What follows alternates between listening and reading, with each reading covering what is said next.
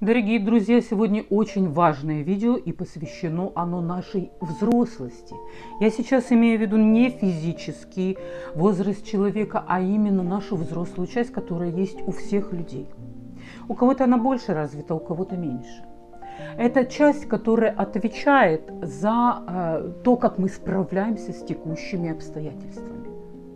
Например, приведу пример. Например, нас захлестывают эмоции, происходит какой-то скандал, какой-то вот вышло из-под контроля вроде бы все. И тут мы включаем нашу взрослую часть, как будто бы отходим, смотрим на это, анализируем и тут же находим наивыгоднейший, наилучший способ выхода из этой ситуации сложной разной степени сложности а, бывают ситуации, и во всех вот сложных ситуациях нам помогает именно вот эта взрослая часть. Потому что если дать волю эмоциям, вы сами знаете, что, во что это может вылезти, и, и а, как потом это все придется а, в общем, заглаживать и, и, и э, делать много ненужной работы, скажем так, ненужной. И дальше, когда мы будем говорить об эмоциях и успехе, Потому что эмоции – это очень мощная часть.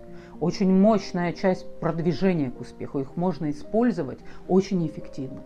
Мы, конечно, будем говорить об этой взрослой части, чтобы не эмоции руководили нами, а мы руководили эмоциями и становились успешнее, счастливее и богаче.